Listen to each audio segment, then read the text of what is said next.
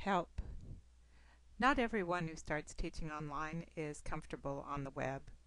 Many of us began as classroom teachers first and were internet users later. It's important to assess how much help you need with being online before you start teaching online. Some people spend a lot of time on the web and are very comfortable in a web-based environment. They communicate through email and chat and voice programs like Skype. They create their own learning networks and find their own resources. They discover and download media.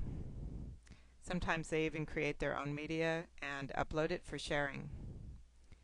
Others mostly use the internet for email or social uses, uses like Facebook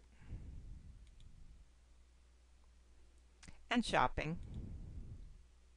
They might be comfortable playing Farmville or socializing, but realize that teaching needs a different set of skills. People respond to the internet differently. Some people explore and discover things on their own and prefer to find their own information. Instructors with these characteristics usually do best talking to other instructors and trying things on the web. But others want guidance, someone to sit down with them and explain things. They prefer to know about the web before trying things. Instructors like this usually do best attending workshops and training sessions before they construct their first class.